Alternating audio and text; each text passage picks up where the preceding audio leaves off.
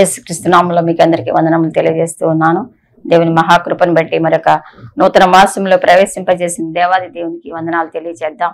ఈ విధంగా మరి ప్రార్థన టీవీ ద్వారా మిమ్మల్ని కలుసుకునే అవకాశం దేవుడు నాకు ఇచ్చినందుకు దేవునికి ఎన్నో వందనాలు తెలియజేస్తూ ఉన్నాను. మరి యేసుక్రీస్తు ప్రభువే మహాదేవుడు గొప్ప దేవుడు ఆయన నిజ రక్షకుడు విమోచకుడు మరి దేవాది దేవుడు. యేసు ప్రభువే నిజమైన దేవుడు అని మనం మాట్లాడుకుంటూ వస్తూ ఉన్నాం. ఆయన తప్ప వేరే మార్గం లేదు. ఆయనే మార్గము సత్యము జీవమై ఉంటున్నారు. కనుక యేసుక్రీస్తు ప్రభు మరి ఈ లోకానికి వచ్చినటువంటి గొప్ప ఉద్దేశము మరి ఎంతో మంది మరి దేవుని యొక్క మ- సమాజము దేవుని బిడ్డలు మరి దేవుని యొక్క ఆయన సృష్టి చేసుకుని చక్కగా మరి అక్కడ పెట్టినప్పుడు ఏదైనా తోటలో మరి ఆయనకి దూరమైపోయినటువంటి జనాంగాన్ని మరి తిరిగి ఆదామహవల్ ద్వారా వచ్చిన పాపాన్ని ఎలాగైనా కానీ తీసివేసి మరి తిరిగి మరి ఆయన యొక్క బిడ్డలను ఆయన చెంతకు చేర్చుకోవాలని ఆయన పడుతున్న తపన వేదన మరి మనం చూస్తూ ఉంటున్నాం. వారిలో భాగమైన మనమే మరి యొక్క దేవునికి దూరమైనటువంటి మనము మరి ఏ విధంగా దేవునికి దగ్గరగా వెళ్ళాలి మార్గం ఏంటి అని మనం చూసినట్టే అక్కడ దేవాది దేవుడు పరమందు ఆలోచించి మరి నా బిడ్డలు అలాగ నశించిపోతే పాపం వలన వచ్చే జీతము మరణము అయితే రెండవ మరణము మరి అగ్ని ఆరదు పురుగు చావనటువంటి ఆ యొక్క నరక వేదన నా బిడ్డలు భరించాలి. కనుక అటువంటి ఇది జరగటానికి వీల్లేదు అని ఎంతో ప్రేమతో ఆయన ఆయనే నేనున్నాను నన్ను పంపుమని మరి ఈ లోకానికి వచ్చి ఆయనే వచ్చి స్వయంగా మరి సామాన్యుడిగా ఈ లోకంలో జన్మించి కన్యామర్య గర్భములో పరిశుద్ధాత్మ వలన పరిశుద్ధముగా మరి జన్మించి మరి పరిశుద్ధ రక్తము మాత్రమే పాపము నుండి మనల్ని తొలగిస్తుంది కనుక మరి ఆ యొక్క పవిత్ర రక్తాన్ని శిలువ మీద ఆయన ఇష్టపూర్వకంగా కార్చి ప్రాణమును పెట్టి మరి తిరిగి లేచి మరి పరమునకు వెళ్ళి అక్కడ మన కోసం విజ్ఞాపం చేస్తూ మనకు స్థలం సిద్ధపరుస్తూ ఉన్నారు. ఇప్పుడు మరి ఏ విధంగా అయితే ఆయన మరి వెళ్ళారో అదే విధంగా మళ్ళీ తిరిగి వస్తారు. అది సత్యం. కనుక మనం ఇప్పుడు మన ఎప్పుడైతే మనం ఒక మనుషుడు మహా అయితే డెబ్భై సంవత్సరాలు జీవిస్తాడు వంద సంవత్సరాలు జీవిస్తాడు అతను చనిపోవాల్సిందే. మనుషులందరూ చనిపోవాల్సిందే. చనిపోయినప్పుడు మాత్రమే మనం మళ్ళీ తిరిగి మనం దేవుని దగ్గరికి చేరగలం. అయితే నరకము లేకపోతే పరలోకము రెండే రెండు స్థానాలు ఉన్నాయని మనం గతంలో కూడా మరి తెలుసుకున్నాము. కనుక ఆ స్థానం అనేది ఇక్కడే మనం సంపాదించుకోవాలి. పరలోకానికి వెళ్తామా నరకానికి వెళ్తామా అన్నది మనం ఇక్కడే తీర్మానం చేసుకోవాలి ఇక్కడే నిర్ణయించుకోవాలి. మనం ఒక ట్రైన్ టికెట్ మరి ఒక ఊరు వెళ్ళాలి కలకత్తా వెళ్ళాలి బాంబే వెళ్ళాలి ఒక ప్రాంతానికి వెళ్ళాలి అంటే ఒక ఊరు ఎక్కడికి వెళ్తున్నామన్న టికెట్ మనం ముందే కొనుక్కోవాలి రైల్వే స్టేషన్కి వెళ్ళి బుక్ చేసుకోవాలి. అప్పుడు మాత్రమే ట్రైన్లో మనం ఎక్కగలం. కనుక మనకు ఒక ఒక ఇది ఉండాలి ఒక నిరీక్షణ ఒక ఒక మార్గం. కనుక మరి అది యేసుక్రీస్తు ప్రభు ఒక్కరే మార్గం అని పరలోక రాజ్యానికి వెళ్ళటానికి లేకపోతే మరి మన పాపంలో వచ్చే జీతం నిత్య నరకమని దాన్ని తీసివేయడానికి ప్రభు వచ్చారని మనం చూస్తూ వస్తున్నాం. అయితే అలా వచ్చినటువంటి ప్రభు మరి తిరిగి వెళ్ళారు అక్కడ మన స్థలం సిద్ధపరుస్తున్నారని చెప్పాం కదా. అయితే ఈ దినాలలో పరిశుద్ధాత్మ దేవుడుగా మన మధ్య మీకు ఆదరణకర్తను పంపుతూ ఉన్నాను. పరిశుద్ధాత్మను మీ మధ్యకి పంపుతూ ఉన్నాను. దేవుడు పరిశుద్ధాత్మ దేవుడు ఎక్కడైనా మనకి మన చక్కగా మనం కోరినప్పుడు అందుబాటులో మన హృదయంలో మన ప్రక్కన ఆయన ఉంటూ ఉన్నారు. అయితే మనం ఏంటంటే ఇప్పుడు ఈ దినాలలో మనము సంపూర్ణంగా యాక్సెప్ట్ చేయాలి. దేవుణ్ణి అంగీకరించాలి. ఆయన నా పాపముల కొరకు సెలవులో మరణించారు అని సామాన్య విశ్వాసంతో మనం ఒప్పుకుంటే చాలు. మన పాప నేను పాపినా? నేనేం పాపం చేశాను? మనుషులందరూ పాపము చేయట వలన ఈ యొక్క మరణం అందరికీ సంప్రాప్తమైనని దేవుని వాక్యం స్పష్టంగా సెలవిస్తా ఉంది. కనుక ప్రేమ వారు మీరు ఎవరైనా కావచ్చు ఏ కులమైన ఏ మతమైన ఏ లింగమైన లింగభేదం లేదు మత భేదం లేదు కులభేదం లేదు ఎవ్వరు మనుషులందరూ పాపము చేసి ఆయన అనుగ్రహించు మహిమను పొందలేకపోతున్నారని దేవుని వాక్యం సెలవిస్తా ఉంది. కనుక మనం అందరము కూడా మరి ఒక దినాన మరణించాలి దేవుని దగ్గరికి వెళ్ళాలి ఏదో స్థలానికి వెళ్ళాలి కనుక మనం ఇక్కడే నిర్ణయం తీసుకోవాలి. మరి ఆ యొక్క నిర్ణయాన్ని ఇంకా యేసుక్రీస్తు ప్రభుని అంగీకరించకుండా ఇగో వాక్యం వింటున్నా నువ్వు ఇంకెవరివైనా యేసు ప్రభు అంటే తెలియకుండా ఆయన కూడా ఒక దేవుళ్ళలో దేవుడు కాదు ఆయన ఒక దేవుడు కాదు ఆయన ఏకైక దేవుడు. ఆయన అంటున్నారు నేనే మార్గము సత్యము జీవము. నా ద్వారానే తప్ప ఎవరు పరలోక రాజ్యంలో చేరలేరని ఖచ్చితంగా నిశ్చయముగా చెప్తున్నారు. నిశ్చయముగా అంటే ఇంక దానికి తిరుగులేదు ఎందుకంటే వేదాలన్నీ ఘోషిస్తున్నాయి ఏంటంటే పరిశుద్ధ రక్తము మాత్రమే పావనని చేయగలదు. పరిశుద్ధ రక్తం మాత్రమే మనిషిని పాపం నుండి విడిపించగలదు. పరిశుద్ధ రక్తము మాత్రమే పరిశుద్ధ స్థలాలలోనికి మనల్ని తీసుకొని వెళ్ళగలదు అని సెలవిస్తుంది కనుక. పరిశుద్ధుడు ఎవరు నీతిమంతులేడు ఒక్కలేడు అని సెలవిస్తుంది అందుకే ఆయన ఒక్కరే మన వలె అమ్మ నాన్న సంపర్కం వల్ల కాకుండా పరిశుద్ధ ఆత్మ జన్మించారు కనుక పరిశుద్ధ రక్తము ఆయన రక్తము మాత్రమే మనల్ని మోచేస్తుంది కనుక ప్రేమింటి వారులారా ఇంకా అటు అనుభవం పొందకుండా ఇంకెవరైనా ఉన్నారేమో? ఏమోనండి నాకేం తెలియదు నేను కూడా ఏదో భక్తి చేస్తున్నాను నేను ఎట్లనే పండిత రమాబాయి అనేటువంటి ఒక సహోదరి బ్రాహ్మణ కుటుంబంలో జన్మించింది. బ్రాహ్మణ కుటుంబంలో జన్మించారు ఇరవై సంవత్సరాలకి పద్దెనిమిది వేల శ్లోకాలు నేర్చుకుందంట ఆవిడ. అంటే అంత భక్తి చేస్తుంది. అంత భక్తి చేస్తున్నా సరే ఆమెకి మనశ్శాంతి లేదు. మనశ్శాంతి లేక అలాగ జీవిస్తూ ఉన్నప్పుడు ఆ యొక్క వైద్య డాక్టర్ చదువుకోవడానికి ఆమె ఇంగ్లాండ్ వెళ్ళారంట. వెళ్ళినప్పుడు అక్కడ ఒక నూతన నిబంధన పుస్తకం ఎవరో ఇచ్చారు ఆవిడకి. ఒక చర్చ్కి వెళ్ళింది బాప్టి చర్చ్కి వెళ్ళారంట ఆవిడ. వెళ్ళినప్పుడు అక్కడ వాక్యం విని ఆ యొక్క నూతన నిబంధన చదివి నిజముగా మనుషుల్ని ప్రేమించేవారు యేసు ప్రభు ఒక్కరే అని తెలుసుకున్నారంట. నిజంగా మరి పండితరాబాబా అంటే మంచి చరిత్ర కలిగినటువంటి స్త్రీ. ఆవిడ మంచి ఆ దినాలలో యాక్టివ్గా కాంగ్రెస్ పాలనలో కూడా ఉంటూ జాతీయ కాంగ్రెస్లో ఉంటూ మంచి క్యాలెండర్లో కూడా ఒక ఒక వ్యక్తిగా గుర్తింపు పొందిన వ్యక్తిగా మరి పేరు పొందింది. ప్రభుని నమ్ముకుని ఆర్యవైశ్య సమాజాన్ని మరి ఏర్పాటు చేసి అక్కడ అనగారిన స్త్రీలను అనగారిన ప్రజలను పైకి లేపే దేవుడు నిజమైన ప్రేమ గలవాడు యేసు ఒక్కడు మాత్రమే. విడిపించగలవారు యేసు ఒక్కరు మాత్రమే అని చెప్పి ఆవిడ తెలుసుకున్నారనమాట ప్రియ సోదరి ప్రియ సోదరుడా ఇంకా నీకు ఒకవేళ అటువంటి అనుభవం లేకపోతే ఏదో నా జీవితం బాగానే ఉందిలే బాగానే తింటున్నాను బాగానే ఉంటున్నాను జాబ్ చేసుకుంటున్నాను చాలా సంపాదించుకున్నాను ఓకే? అది తప్పని నేను అంటలేదు కానీ మనం ఆత్మ విషయమైన ఒక యోచన కలిగి ఉండాలి. చనిపోతే ఎక్కడికి వెళ్తాం? ఒక నిరీక్షణ మనం కలిగి ఉండాలి. చనిపోతే ఎక్కడికి వెళ్తాం? ఎందుకంటే మనకి మనకి లైఫ్ మీద పర్మనెంట్గా మనం ఎక్కడ ఉంటామని ఎక్కడ లేదు. తప్పకుండా చనిపోతాం. ఒక దాటి అక్కడికి వెళ్ళిపోవాల్సింది. ఇప్పుడు ఎంత మహానుభావులు పుట్టారు ఉన్నారా మన కళ్ళ ముందు? లేరు వెళ్ళిపోయారు. టైం వచ్చినప్పుడు మనం కూడా వెళ్ళిపోవాలి. కనుక నేను ప్రాధాయపడేది ఏంటంటే ప్రేమతో మీకు చెప్పేది ఏంటంటే యేసును నమ్ముకున్నట్లయితే మన పరలోక రాజ్యము ఆయన ఆయనతో సంతోషము ఆయనతో సదా మనం ఉంటాము. నెమ్మది ప్రశాంతత. ఆయన మన హృదయంలోకి తీసుకు మనం ఏం చేయక్కర్లేదు. మీరేమి దానికోసం యేసు నమ్ముకోవడానికి మీరేం ఖర్చు పెట్టక్కర్లేదు. సామాన్య విశ్వాసంతో నేను పాపిని నేను ఒప్పుకుంటే చాలు. నా హృదయంలోకి రాదేవా అని ప్రార్థన చేసుకుంటే చాలు. ఇదిగో నా పాపల కోసమే నువ్వు యాగం చేసావు నా కోసం కూడా రక్తం కాచావు. పవిత్ర రక్తాన్ని నమ్మితే చాలు. నువ్వు నమ్మితే చాలు. నువ్వు ఆహ్వానిస్తే చాలు. ప్రభు అంటున్నారు దేవుని వాక్యం ఏమని సెలవిస్తున్నారంటే ఇదిగో నేను తలుపు నది నుండి తడుచు ఉన్నాను. ఎవరైతే నా స్వరం విని తలుపు తీస్తారో వారితో నేను నాతో వారిను కలిసి భోజనం చేస్తాం అనేక రకాలుగా తడుతూ ఉంటారు. దేవుడు మనల్ని ప్రేమించి ఎందుకంటే దేవుడు ప్రేమించి మనల్ని తడుతూ ఉంటారు. అయ్యో నా బిడ్డ ఇంకా నన్ను తెలుసుకోలేదే.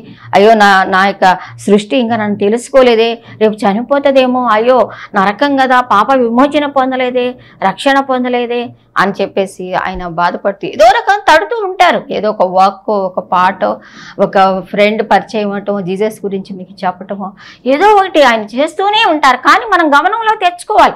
సృష్టికర్తను స్మరణకు తెచ్చుకోవాలి. నేను ఎవరు చేశారని నేను మళ్ళీ ఎక్కడికి వెళ్తానన్న విషయం నువ్వు ఆలోచించాలి. ఎంత చదువుకున్నా ఎంత ప్రొఫెసర్ అయినా ఒకవేళ జ్ఞానివైనా ఎంత గొప్పవాడివైనా నీకు ఒక ఆత్మ ఉంది. ఆ ఆత్మ ఉంది. ఆత్మ పరమాత్మలో లీనమైతేనప్పుడు మాత్రమే నీకు మనశ్శాంతి రేపు పరలోక రాజ్యం. కనుక ఇంకా అటు అనుభవం లేకపోతే నువ్వు ఆ చిన్న ప్రార్థన చేసుకుంటే దేవుడు నీ హృదయంలోకి ప్రవేశిస్తాడు. దేవుని వాక్యం చాలామంది నేను బయటికి వెళ్తున్నప్పుడు మా ప్రియ సోదరులు మరి అడుగుతూ ఉంటారనమాట అడుగుతారు ఏ నేను చాలా ప్రార్థన చేస్తున్నాను కానీ ఆంటీ నేను క్లియర్ చేసుకుంటున్నాను కానీ దేవుడు నన్ను సేవ్ చేశాడని నాకు ఏమో ఒక్కోసారి నాకు భయం వేస్తుంది అని అంటారు. అలాంటి భయపడాల్సిన అవసరం లేదు. దేవుని వాక్యం ఏం సెలవిస్తూ ఉందో చూడండి. రోమా రోమా పత్రిక ఎనిమిదో అధ్యాయంలో చూసినట్లయితే ఎనిమిదో అధ్యాయం పదహారో వచనంలో చూసినట్లయితే స్పష్టంగా సెలవిస్తా ఉంది రోమా ఎనిమిది పదహారులో మనము దేవుని పిల్లలమని ఆత్మ తానే మన ఆత్మతో కూడా సాక్ష్యం ఇచ్చుచున్నాడు. చూడండి మనము పిల్లలమైతే వారసులము. దేవుని పిల్లలమైన ఆత్మ ఆత్మతోనే చాలాసార్లు నేను రక్షణ పొందానా? పాపాలు ఒప్పుకున్నాను కదా మళ్ళీ చేస్తున్నాను కదా అని చెప్పేసి డౌట్ పడుతూ ఉంటారు. ఒక్కసారి చూడండి తలుపు కొట్టినప్పుడు లోపలికి వస్తానంటున్నారు. ఆయన లోపలికి వచ్చిన తర్వాత ఇంకా నువ్వు అనుమానం పట్టక వీల్లేదు. ఆత్మే ఆత్మతో కూడా సాక్ష్యం ఆత్మలో తెలిసిపోద్ది. నా పాపాలను ఒప్పుకున్నాను కదా దేవుడు నన్ను క్షమిస్తాను ఎందుకంటే నా ఇద్దరికి వచ్చే వారిని ఎంత మాత్రము త్రోసివేనంటున్నారు ఎవరైతే యేసుక్రీస్తునందు విశ్వాసం ఉంచుతారో ప్రార్థన చేస్తారో ఆయన నా పిల్లల పిల్లలగుటకు అధికారం ఇచ్చానంటున్నారు. కనుక మనం ఆత్మే చెప్తుంది పాపాలు ఒప్పుకున్నాను. మనశ్శాంతి వస్తుంది. ఆత్మ సాక్ష్యం ఇస్తుంది. మనశ్శాంతి నెమ్మది పీస్ ఆఫ్ మైండ్ చెప్పన్న అసఖ్యమును మాహిమాయుక్తమైన సంతోషము. ఆ సంతోషాన్ని ఆ సంతోషం ఏ ఏ ఏ పరిస్థితులు కూడా తీసివేయలేవు. దేవుడిచ్చిన సంతోషం. ఈ పరిస్థితుల వల్ల కానీ ఇంట్లో పరిస్థితులు కుటుంబ పరిస్థితులు శరీరంలో బలహీనతలు కానీ ఉద్యోగంలో సమస్యలు ఇవన్నీ ఏవి ఈ లోకంలో ఏ సృష్టించింది ఏది కూడా ఆయన నిజముగా ఆయన లోపలికి వచ్చి ఆయన ఇచ్చినటువంటి ఆ పీస్ని ఎవరు తీసివేయలేడు కనుక అటు పీస్ నువ్వు కలిగి ఉన్నావంటే నువ్వు దేవుని బిడ్డవే. దేవుడు నీలోకి వచ్చారు. లోటు పడక్కర్లా. చాలామంది ప్రార్థన చేస్తారు వెళ్తుంటే పాపనైనా నా ప్రార్థన ఆలకించండి అంట. ఒకసారి ప్రభు లోపలికి వచ్చారు. రక్షించారు. అదే రక్షణ అంటాం మారు అంటాం రకరకాలుగా పిలుస్తాం. ఏది ఏమైనా నువ్వు సేవ్ చేయబడ్డావు. పాపాలకు విమోచన కలిగిపోయింది. ఎందుకంటే దేవుడు నీ లోపలికి వచ్చాడు. నేను క్షమించాడు. నేను రక్షించాడు. ఇంకా మనం పాపులం కాదు. ఎస్సు బిడ్డలం. ఎస్ అయిన బిడ్డలం. మళ్ళీ పాపిన అంటే లోకంలో ఉంటూ ఉన్నప్పుడు మరి మనం జీవిత యాత్రలో ముందుకు వెళ్తున్నప్పుడు ఒక మంచి వైట్ షర్ట్ వేసుకున్నాం అనుకోండి లోకంలోకి వెళ్ళినప్పుడు మురికి అంటుకుంటుంది. అలాగే ఉంటుందా? మనం కొన్నప్పుడు ఎలా ఉంటుందో అలాగే ఉంటుందా? వైట్ షర్ట్ ఉండదు కదా. మళ్ళీ దాన్ని సర్ఫేసి సబ్బేసి మిషన్లో వేసి ఉతుక్కోవాలి. అలాగే మనం కూడా మన రక్షణ భాగ్యం మన మనం ముందుకు వెళ్తూ ఉన్నప్పుడు ఎన్నో మురికలు అంటుకుంటాయి లోకంలో. మాటల ద్వారా క్రియల ద్వారా తలంపుల ద్వారా. కొన్ని మురికి అంటుకున్నప్పుడు మనం ఏం చేయాలంటే అందుకే మనం అనుక్షణం ఎప్పుడు కూడా దేవుని సన్నిధికి వెళ్ళి కడుక్కోవాలి. మిమ్మల్ని కడుక్కొనిడి శుద్ధి చేసుకొనిడి అంటున్నాడు ప్రభు సెలవిస్తున్నాడు. కనుక దేవుని సంధికి మనం వెళ్ళినప్పుడు మళ్ళీ కడుక్కుంటాం మనం. వాక్యం మనం వింటున్నప్పుడు సరి చేసుకుంటాం. దేవుని మందిరానికి వెళ్ళినప్పుడు మనం దిద్దుకుంటాం. వాక్యమైన అద్దంలో చూసుకున్నప్పుడు ఎక్కడ మరకలు మచ్చలు ఉన్నాయి సరి చేసుకుంటాం. అలాగ దేవుల్లో ముందుకు వెళ్తాం. ప్రివెంటెంట్ వాళ్ళారు అలాగ నమ్ముకున్న మనకి దేవుని ప్రేమను అంతగా చూపించిన దేవుడు ఈ లోకంలో మనల్ని ఏం చేశారంటే ఇప్పుడు చెప్పాను కదా పరిశుద్ధాత్మ దేవుడు మనలో మన దగ్గర ఉన్నారు. ప్రస్తుత పరిశుద్ధాత్మ దినములు కుమారుడు మన మన కోసం చేసిన త్యాగం చేసి అక్కడికి వెళ్ళిపోయి మన కోసం విజ్ఞాపన చేస్తున్నారు స్థలం సిద్ధపరుస్తున్నారు. అయితే ఇప్పుడు ఆయన ప్రతినిధివి నువ్వే. ఇక్కడ ఆయన బిడ్డవి నువ్వే. రక్తం ఇచ్చి ప్రాణం ఇచ్చి కొనుక్కున్న బిడ్డవి నువ్వే. కనుక నీవు అట్టి కలిగినటువంటి ఆయన యొక్క లక్షణాలని ఆయన యొక్క ప్రేమను ఆయన ఎటువంటి పరిస్థితుల నుంచి నిన్ను విడిపించాడో ఆ పరిస్థితి నువ్వు ఇతరులకు చెప్పవలసిన వాడుగా చెప్పవలసిన దానుగా నువ్వు ఉన్నావు. చాలాసార్లు చూడండి మరి ఒక ప్రమాదమైన స్థలంలో నుంచి మనం దాటొచ్చాం అనుకోండి దాటి వస్తున్నాం అనుకోండి అప్పుడు మనం ఏం చేస్తాం? అమ్మో అది ప్రమా అటు వెళ్ళకండి దయచేసి. అది చాలా డేంజరస్ పొజిషన్ అదిగో ఆ వంతెన ఎక్కకండి డేంజర్ అని రాస్తారు. కొన్ని వంతెనలో పని చేయవు మనకి వెళ్తుంటే కదా? కొన్ని బ్రిడ్జ్లు. అసలు అయితే ఒక పల్లెటూరులో అయితే ఇలా వెళ్తుంటే కాళ్ళ మీద తాటి బొత్తలేసి ఉంటాయి. అవి దాటుకుంటూ వెళ్ళేవాళ్ళం. ఊగిపోతూ ఉంటాయి. ఊగిపోయి ఒక వల్ల పడిపోయే పరిస్థితులు కూడా ఉంటాయి అప్పుడు కొన్ని దగ్గర దగ్గర దగ్గర వేరే వేరే ప్రాంతాల్లో కూడా ఉండే. అమ్మో అది వద్దు అది బాగా కదులుతుంది అటు వెళ్ళబాకండి అమ్మా. ఇటు వెళ్ళండి అని చెప్పి చెప్పి మన పెద్దవాళ్ళు చెప్పేవాళ్ళు. ఎందుకంటే అదిగో డేంజరస్ పొజిషన్లో ఉన్నావు. పడిపోతావు కాలువలో మునిగిపోతావు కొట్టుకెళ్ళిపోతావు. మనం కూడా అలాగే మరి. అవునమ్మా ఆది అది పరిస్థితి కాదు అది వే కాదు. ఇదిగో మార్గం సత్యం జీవం ఈయనే. ఈయన మార్గంలోకి రండి. ఈయన సరిగ్గా నడపగలరు. ఈయన మన సరైన స్థలానికి మనల్ని తీసుకుని వెళ్ళగలరు అని నువ్వు చెప్పాలి. ఎందుకంటే నువ్వు ఎరిగి ఉన్నావు. దేవుడు నీకు రివీల్ చేశాడు. దేవుడు నీకు బయలుపరిచాడు. ఏదో విధంగా నువ్వు వాక్యం విన్నావు. ఎప్పుడో నువ్వు ఒక పాట విన్నావు. ఎప్పుడో నువ్వు ఒక వాక్యం విన్నావు. నువ్వు ప్రభుని యాక్సెప్ట్ చేసావు దేవుని బిడ్డగా ఈ లోకంలో బ్రతుకుతున్నావు. బ్రతుకుతున్న నీవేం చేయాలంటే అపాయంలో ఉన్న అనేకులకు నువ్వు మాదిరికరంగా చూ మరి చూపించాలి. దారి చూపించే వాళ్ళంగా ఉండాలి. అందుకే ప్రభు నిన్ను ఇంకా సజీవ లెక్కలో ఉంచారు. అందుకే ప్రభు నిన్ను ఈ లోకంలో ఆయన ప్రతినిధిగా ఉంచుకున్నారు. కనుక అట్టి దేవుని యొక్క మరి అంత ప్రేమ కలిగిన దేవుని యొక్క లక్షణాలను మనం ఈ దినం చూసుకుందాం. కొన్ని మరి దేవాక్య పరిధిలో చూసుకున్నట్టయితే దేవుడు మొదటిగా ప్రేమ గలవాడు. ఏసు క్రీస్తు అంటేనే ప్రేమ ప్రేమ అంటేనే యేసు. ఎందుకంటే ఓ ప్రేమ గురించి నిర్వచనం చెప్పడానికి ఆయన గురించి మనం ఆ దేవుడు లోకముని ఎంతో ప్రేమించను. దేవుని వాక్యం. యోహాన్ స్వార్థ మూడు పదహారులో చూసినట్టయితే ఎంతో ప్రేమించారు. ఎంత అంటే ఎంత అని చెప్పలేము. దానికి పరిధి లేదు. ఎంతో అన్నమాట వాడాడు గ్రంథకర్త. దాని అంటే అంత ప్రేమ మనకి ఇంత అని చెప్పలేము ఇంత అని చెప్పలేము ఎందుకంటే ఆయన ఈ ఆ యొక్క సమస్త వైభవముతో పరిశుద్ధుడు పరిశుద్ధుడు పరిశుద్ధుడు అని గాన ప్రతిగానములు చేస్తున్న పరములో దాన్ని విడిచి నీ కోసం నా కోసం ఈ లోకానికి వచ్చాం. ఇంకా ఇంకా అంతకంటే ప్రేమకు నిర్వచనం మనం ఏం చెప్పగలమండి? ఇంకా అంతకన్నా ఏం చెప్పగలం? ఈ లోకానికి రావటమే కాదు ఈ లోకానికి వచ్చి చేయవలసినంతా నీ కోసం మరణము పొందినంతగా శిలువ మరణము పొందినంతగా మనల్ని ప్రేమించాడు. ప్రాణం పెట్టినంతగా. మరణం అంటే మామూలు మరణం కాదుగా ఆయన మరణాన్ని ఒకసారి యోచించండి తెలియని అనేకులకు నేను చెప్పేదని సిలువ మరణం అంటే భయంకరమైన ఘోరమైన మరణం. ఎంతో దుష్టులకి మరి దుర్మార్గులకి వేసేటువంటి సిలువ శిక్ష. అట శిక్ష నీ కోసం నా కోసం పొందారు. అంటే ఎటువంటి దుష్టులైనా ఎటువంటి పాపులకైనా విమోచన కలిగేటట్టుగా ఆ పరిశుద్ధ రక్తాన్ని కార్చారు అందుకే ఆయన మరి ఆ యొక్క ప్రేమను గురించి మా మాట్లాడుకుంటున్నాం. ఆయన ప్రేమను గురించి మాట్లాడటానికి మనకు భాష చాలదు లిపి చాలదు. ఎందుకంటే అంత ప్రేమతో ప్రభు మనల్ని ప్రేమించారు.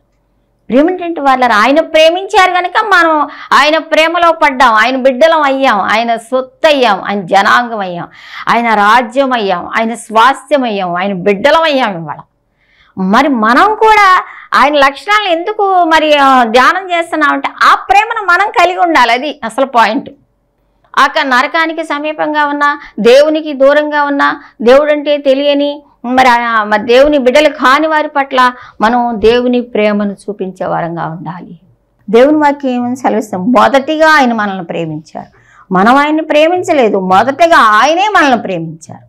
చూడండి ఇక్కడ దేవుని వాక్యం చూసినట్టయితే మొదటి యోహాన్ పత్రిక నాలుగో అధ్యాయం ఎనిమిదో వచనం. మొదటి యోహాన్ పత్రికలో మనం చూసినట్టయితే ఇక్కడ దేవుని వాక్యంలో స్పష్టంగా సెలవిస్తూ ఉంది. దేవుడు ప్రేమాస్వరూపి మొదటి యోహాన్ పత్రిక నాలుగు ఎనిమిది. దేవుడు ప్రేమాస్వరూపి ప్రేమ లేనివాడు దేవుని ఎరుగడు. ప్రేమ దేవుని మూలముగా కలుగుచున్నది. ప్రేమించు ప్రతివాడు దేవుని మూలముగా పుట్టినవాడే దేవుని ప్రేమను ఎరుగును. కనుక దేవుడే ప్రేమ స్వరూపి. ఆయన స్వరూపమే ప్రేమ. చాలా మంది చూడండి మనం దేవుని బిడ్డలం అని చెప్పుకుంటాం కానీ ప్రేమ ఉండదు అసలు. మామూలుగా ఎంత కఠినంగా రోలు రోలు ఇది రోలు ఇది రోల్ ఫర్ ఆల్ అన్నట్టుగా ఉంటాం. ఆఫ్ కోర్స్ అయితే అవ్వచ్చు కానీ దేవుని ప్రేమను మనం కలిగి ఉండాలి. ఇతరుల మనం చాలా మరి నాలుగో అధ్యాయం పంతొమ్మిదో వచనంలో కూడా చూసినట్టయితే ఇక్కడ చాలా స్పష్టంగా దేవుని వాక్యం సెలవిస్తూ ఉంది. ఆయన ప్రేమని గురించి ఆయన ప్రేమని గురించి. మనము దేవుని ప్రేమించటమని కాదు తానే మనల్ని ప్రేమించి. మన పాపములకు ప్రాయశ్చిత్తమై తన కుమారుని పంపెను. మనం ప్రేమించలా. అస్సలు మనం ప్రేమించామా? మనం ఎక్కడ ప్రేమించాము? మనం ఎక్కడో లోకంలో ఉన్నప్పుడు దేవుడు మనల్ని ప్రేమించాడు.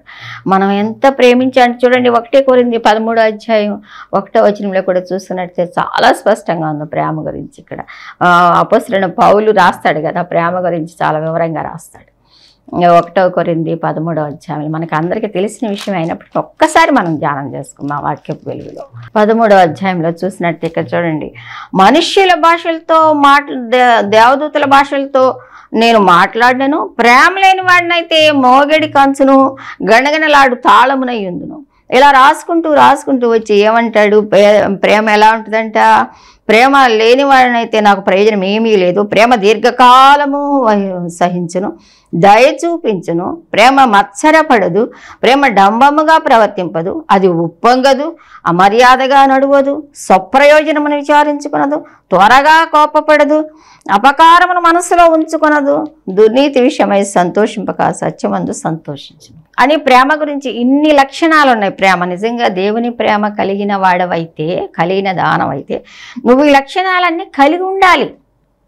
దేవుని ప్రేమిస్తున్నా ప్రేమిస్తున్నా అని చెప్పటం కాదు. దేవుని ప్రేమిస్తూ దేవుడు ప్రేమించే మనుషులను ప్రేమిస్తూ ఆ యొక్క దేవుని లక్షణాలను ప్రేమ లక్షణాలను మనం కలిగి ఉండాలి. ఏమైనా ప్రేమ దీర్ఘ దీర్ఘకాలము సహించును. కొంతకాలంగా దీర్ఘకాలం సహిస్తుందంట.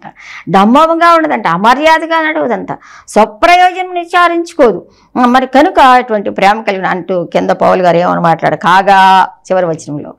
కాగా విశ్వాసము నిరీక్షణ ప్రేమ ఈ మూడును నిలుచును. వీటిలో శ్రేష్టమైనది ప్రేమయే. కాబట్టి ప్రేమేంటంటే వాళ్ళారా మనం దేవుని ప్రేమ కలిగి ఉండాలి. మనం మాట్లాడుకుంటున్నాం. ఆయన లక్షణాల గురించి మాట్లాడుకుంటూ ఆయన బిడ్డలముగా ఆయన యా ఆ యాజకులముగా ఆయన పరిచారకులంగా ఆయన నామం పెట్టబడిన బిడ్డలంగా మనం దేవుని ప్రేమను ఆయన వలె మనం కలిగి ఉండాలి. ఇప్పుడు మనము చూడండి దేవుని నమ్మినని ఆ ప్రేమను దేవుని నమ్మినప్పుడు ఆటోమేటిక్గా నువ్వు మనకి ఆలో దేవుని ప్రేమ వచ్చేస్తుంది ఎప్పుడైతే ఏసు రక్తంలో మరి కడుగుబడ్డామో ఆయన బిడ్డమయ్యామో ముద్రించబడ్డామో ఆ అప్పుడు దేవుని ప్రేమ కోసం ప్రభావాన్ని ప్రేమ లక్షణం నాకు దయచేయండి. మనం ప్రార్థన చేసుకోవాలి. ఇప్పుడు క్రీస్తు యేసు అనున్న వారికి ఏ శిక్షా విధి లేదు. మనం ఆయనలోకి రూ రూపాంతరం చెందాలి. దినదినము దినదినము చెందుతున్నప్పుడు ఆయన ప్రేమ కూడా మనలో నింపబడుతుంది. ఆయన లక్షణమైనటువంటి ఆయన ప్రేమ మనలో నింపబడుతుంది. అప్పుడు మనం ఆటోమేటిక్ ఏం చేస్తామంటే దేవుని యొక్క ప్రేమను మనం కలిగి ఇతరులకు నిజంగా ప్రేమిస్తాం. నిజంగా దేవుని ప్రేమిస్తున్నామంటే ఆ బిడ్డలను ప్రేమిస్తున్నామంటే మనం ఏం చేయాలంటే ఆయనకి వాళ్ళకి సువార్త చెప్పాలి. ఆయనకి వార్త చెప్పాలి. వారికి వారికి రాబోతున్నటువంటి ఉగ్రత గురించి చెప్పాలి. ఇదే జీవితం శాశ్వతం కాదని మనం తెలియజేయాలి. శాశ్వతమైన జీవం ఒకటి ఉందని మనం తెలియజేయాలి. కనుక ఆ ప్రేమేంటంటే వాళ్ళారా యేసు ప్రేమను గురించి మనం మరి మాట్లాడటానికి ఎంతైనా భాష చాలదనుకున్నాం లిపి కూడా చాలదనుకున్నాం. కానీ అట్టి ప్రేమను మనం పొందుకున్నాం ధనిలమయ్యాం కనుక ధనిలమైన మనము ఇతరులకి ప్రేమను చూపించే వరంగా ఉండాలి. ఆ యేసు ప్రేమను చూపించి ఆ యేసు ప్రేమను చూపిస్తున్నామంటే ఒకటే ఒకటి ఏం పే చేయాలంటే వాళ్ళకి దేవుని ప్రేమని గురించి చెప్పాలి. ఒకటి ఎప్పుడు కూడా మనం వెళ్ళినప్పుడు ఇతరుల గురించి మనం విమర్శించొద్దు.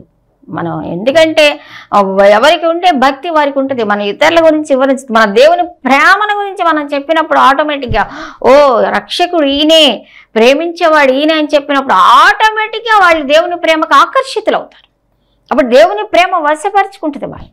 నువ్వు యేసు ప్రేమను చూపించినప్పుడు చాలాసార్లు భార్యాభర్తలు కూడా ఒకళ్ళ ప్రభువుని నమ్ముకుని ఒకళ్ళ ప్రభువుని నమ్ముకోకుండా ఉన్నప్పుడు వారి జీవిత యాత్రలో ముందుకెళ్తున్నప్పుడు మరి చాలామంది క్రైస్తవేతరులైన సో సహోదరులు ఎన్నో సమస్యలు ఎదుర్కొంటున్నట్టుగా మా దగ్గరికి వస్తారనమాట చెప్పినప్పుడు వారి భర్తలు ఒప్పుకోనప్పుడు వాళ్ళు క్రీస్తు ప్రేమను చూపించాం దేవుడి వాక్యంలో కూడా ఉంది కదా మరి మీ మీ పవిత్ర ప్రవర్తనను బట్టి క్రీస్తు ప్రేమను బట్టి వాక్యం లేకుండానే వాళ్ళ దేవుని దగ్గరికి రాబట్టబడవచ్చు మనం అలాగే మరి దేవుని ప్రేమను చూపించినప్పుడు వాళ్ళు ఎంతో మంది మారి ఇది నాన్న చక్కగా ఓ నీ దేవుడే నిజమైన దేవుడు నీ దేవుడే నా దేవుడు అని చెప్పేసి మరి దేవుని దగ్గరికి రావటం జరిగింది.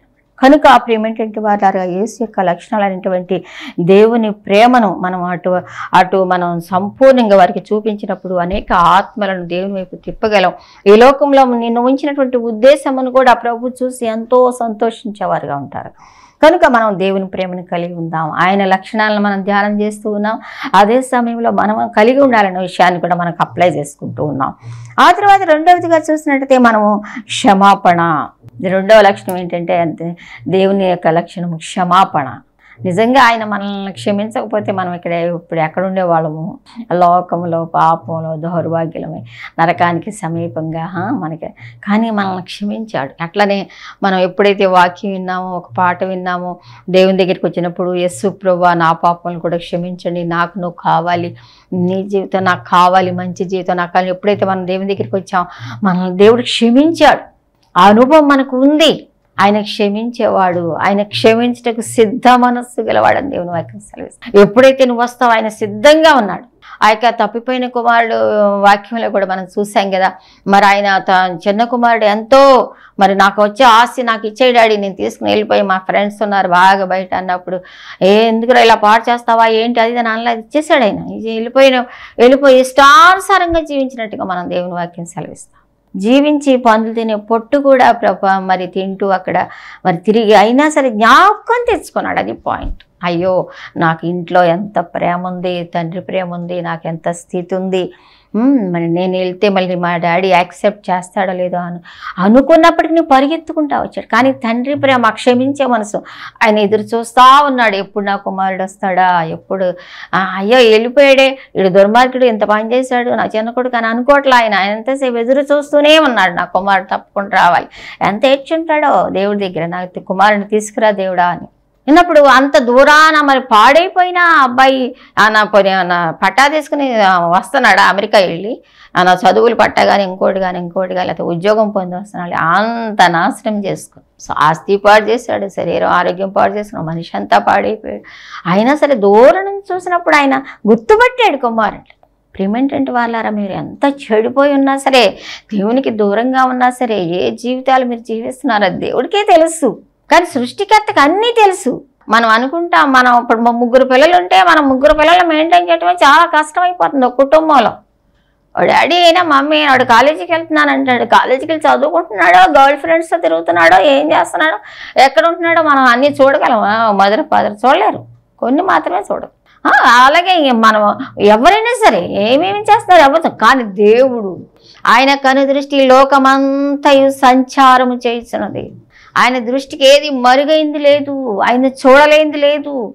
ఆయన సమస్తం చూస్తున్నాడు. నువ్వు ఎక్కడున్నావో ఏం చేస్తున్నావో ఎటువంటి జీవితం జీవిస్తున్నావో ఏ విధంగా ఉంటున్నావో ఏం తింటున్నావో ఏం తాగుతున్నావో ఎటు తిరుగుతున్నావో ఎవరితో ఉంటున్నావో ఏం చేస్తున్నావో అన్నీ ఆయనకి తెలుసు. కాబట్టి దేవుడికి మా దేవుడికి మరిగే మా అమ్మకి మా నాన్నకి మరిగే చేస్తున్నాను అనుకున్నాను. చేస్తే చేసి కానీ నువ్వే నష్టపోతావు. అలాగే దేవుడికి మరిగేయండి మాత్రం నువ్వేం చేయలేవు. అంత లోకమంతా సంచారం చేస్తున్న దేవుని దృష్టిలో అయినను దేవుని దగ్గరికి వచ్చి ప్రభా నన్ను క్షమించు దేవా నన్ను క్షమించు. నా కోసమే నువ్వు దేవుడిగా ఈ లోకానికి వచ్చావంటాను ఒక్క మాట అంటే ఆ తండ్రిలాగా పరిగెత్తుకుంటూ వచ్చి నీ మెడ మీద పడి ముద్దు పెట్టుకొని ప్రశస్త వస్త్రం త్వరగా తెచ్చి ఆ మురికి బట్టలు తీసి మంచి బట్టలు వేయండి. ఒక- ఒక గోల్డ్ ఉంగరం తొడిగించండి చెప్పులు వేయండి అని అన్ని ఆర్డర్ చేసేసాడు ఆ తండ్రి. ఈయన గొప్ప పని చేసి వస్తున్నాడా లేదు అంత భ్రష్టుడై వస్తున్నాడు. అలాగే నువ్వు కూడా ఒకవేళ భ్రష్టుడుగా ఉండొచ్చు కానీ దేవుడు సిద్ధంగా ఉన్నాడు. నిన్ను నిన్ను చేర్చుకోవడానికి నిన్ను కౌగలించుకోవడానికి నిన్ను ముద్దు పెట్టుకోవడానికి నీకు చక్కని జీవితం ఇవ్వటానికి నిన్ను క్షమించడానికి గతం ఎంతైనా అనగాక. కనుక ప్రియమేంటంటే వాళ్ళారా ఇక్కడ మనం చూసి ఆయన క్షమించటం ఆయన క్షమాపణ లక్షణం గురించి మనం మాట్లాడుకుంటున్నాం. మరి ఈ లోక సంబంధమైన తండ్రికి అంత ప్రేమ ఉన్నప్పుడు దేవునికి ఎంత ప్రేమ ఉంటుంది చూడండి. నీకోసం ఎప్పుడు చెయ్యి చాపి నా కుమారుడా ఎప్పుడు వస్తావు అని చెప్పేసి చూస్తావు నా కుమార్తె ఎప్పుడు నా దగ్గరికి వస్తావని చూస్తాం. మనమేమో దేవుని దేవుని విడిచిపెట్టి లోకంలో ఏదో కాబట్టి ప్రేమింటి వాడు ఎంతో వ్యాధులతో మీకు చెప్తా. క్షమించడానికి ఆయన సిద్ధం ఆ నన్ను కూడా క్షమిస్తాడా? నన్ను కూడా నన్ను కూడా క్షమిస్తాడు? అయ్యో నేను ఇంత పాపి నేను ఇంత తప్పు చేస్తున్నానే నేను ఇంత పొరపాటు చేస్తున్నానే? నేను ఎంత ఇదిగా ఉన్నాను నన్ను క్షమని ఎంత ఆయన క్షమించలేని పాప అంటూ లేడు. మన కోసమే కదా పాపి కోసమే. పాపులను రక్షించడానికి క్రీస్తు వేసి లోకమునకు వచ్చిన మాట నమ్మదగినది పూర్ణాంగీకారమునకు యోగ్యమైనది.